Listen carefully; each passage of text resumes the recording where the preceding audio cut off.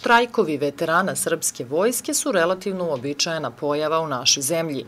Njihovi zahtevi su u tokom prethodnih godina uglavnom bili slični. Donošenje zakona o boračko-invalidskoj zaštiti, osnivanje posebnog ministarstva koje će se baviti nagomilanim problemima onih koji su svojevremeno učestvovali u odbrani zemlje i tako dalje.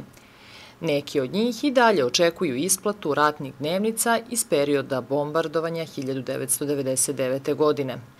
Momir Stojanović, nekadašnji pripadnik artiljerijsko-raketnih jedinica protiv vazdušne odbrane, govorio je u emisiji bez ustročavanja da borbu veterana dodatno otežavaju pojedinci iz njihovih redova koji su po političkoj liniji postavljeni za predsjednike udruženja, kojih u Srbiji ima nekoliko desetina.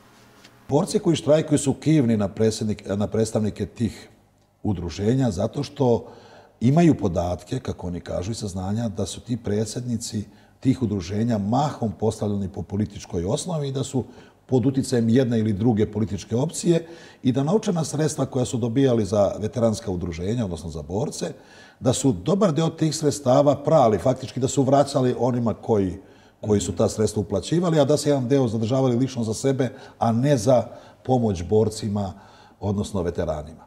I, i to je suština, suština problema. Borci su prepoznali a, pokušaj dotičnog ministarstva da a, čestite čas na njihove zahteve i njihovu istrajnost, žele da utope u jedno takvo a, jedan okrugli sto ili jedan sastanak sa svim tim predsjednicima udruženja, a opet bi bili nadglasani, obzirom da, kao što kažem, svi ovi predstavnici ovih udruženja koja su stvarana od 2000. godine su pod političkim uticajem i onda bi svaka odluka u dotičnom ministarstvu bila preglasana.